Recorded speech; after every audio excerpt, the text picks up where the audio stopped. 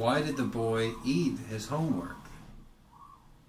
Because the teacher said it was a piece of cake. And the boy wasn't very bright.